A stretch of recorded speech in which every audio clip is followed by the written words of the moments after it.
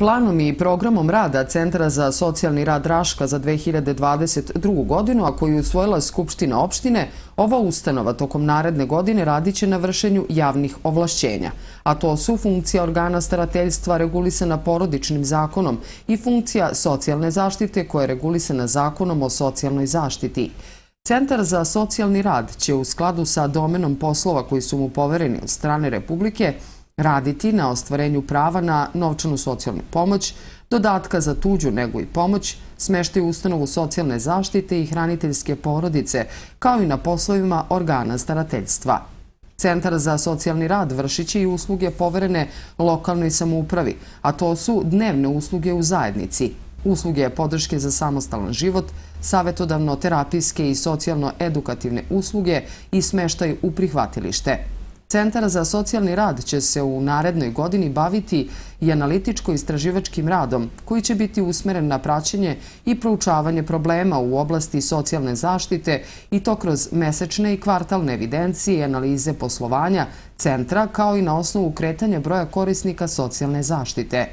Analitičko-istraživački rad ima funkciju praćenja i proučavanja socijalnih potreba i problema za njihovo rešavanje i otklanjanje. Centar za socijalni rad će se tokom naredne godine finansirati iz dva osnovna izvora, a to su republički budžet i budžet opštine Raška.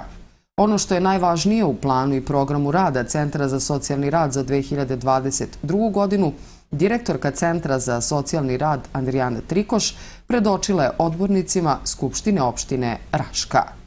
Osnovni ciljevi rada Centra za socijalni rad Raško u 2022. godini su dostizanje, odnosno održavanje minimalne materijalne sigurnosti i nezavisnosti pojedinca i porodice u zadovoljavanju životnih potreba, obezbeđivanje dostupnosti usluga i ostvarenje prava u socijalnoj zaštiti, stvaranje jednakih mogućnosti za samostalni život i podsticanje na socijalnu uključenost, očuvanje i unapređenje porodičnih odnosa kao i unapređenje porodične, rodne i međugeneracijske solidarnosti, kao i sprečavanje zlostavljanja, zanemarivanja ili eksploatacije, odnosno otklanjanje njihovih posledica.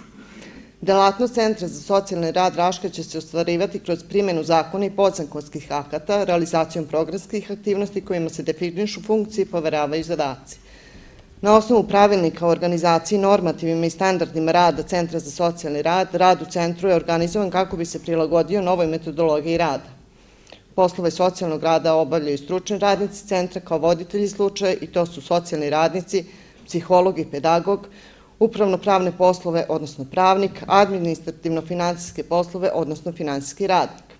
Centar će u toku 2022. godine realizovati sledeće poslove koje su mu poverene od strane Republike. Pravo na novčanu socijalnu pomoć i uvećanu novčanu socijalnu pomoć, dodatak za tuđu nego i pomoć i uvećani dodatak za tuđu nego i pomoć vršit će smeštaj u ustanovama socijalne zaštite, kao i smeštaj u hraniteljske porodice, obezbeđivaće naknadu hraniteljima kao i putne troškove za decu koje su na hraniteljstvu, upremanje maturanata i školskog pribora za decu bez roditeljskog staranja. Vršit će i ostale poslove poverene od strane organa starateljstva. Vršit će i poslove za pomoć osposobljavanja za rad za decu i mlade sa smetnjom u razvoju, kao i odrasla lica sa invaliditetom. Centar će u 2022. godine realizovati poslove iz domena odluke o pravima građana u socijalnoj zaštiti na teritoriji opštine Raška.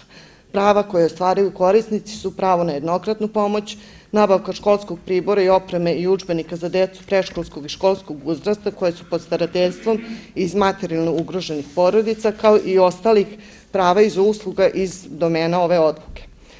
Centar će u toku 2022. godine raditi na unapređivanju već postojećih usluga socijalne zaštite, to su usluge pomoći u kući, usluge neodložnih intervencija, zatim dnevni boravak za decu i mlade sa smetnjama u razvoju, lični pratila za deteta kao i dodatna obrazovna podrška. Centar će inicirati osnivanje nedostajućih usluga kao i razvoj već postojećih, kao što sam i rekla, u saradnji sa organima lokalne samouprave, Ministarstvom za rad, zapošljavanje, boračka i socijalna pitanja, relevantnim institucijama, specializovanim srodnim udruženjima i organizacijama. Centar se finansira iz dva osnova izvora, to iz republičkog budžeta preko Ministarstva za rad, zapošljavanje, boračke i socijalna pitanja po osnovu poverenih poslova od strane Republike i iz budžeta lokalne samouprave po osnovu odluke o pravima građana u socijalnoj zaštiti na teritoriji opštine Raška.